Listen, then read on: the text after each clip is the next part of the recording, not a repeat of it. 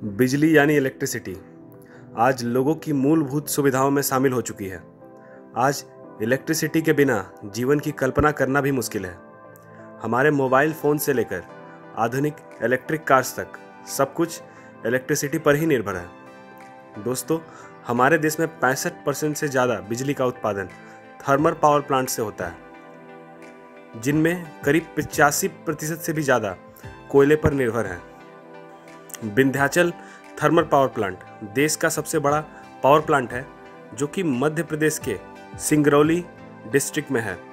इसकी installed capacity 4,760 megawatt है। यह पावर प्लांट एनटीपीसी के द्वारा संचालित की जाती है।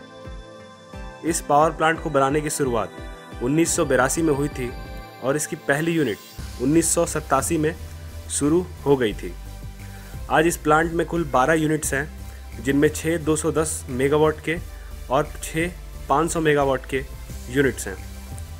इस देश की सबसे बड़ी पावर प्लांट को कोल सप्लाई एनसीएल करती है, जो कि निगाही माइन के थ्रू सप्लाई की जाती है।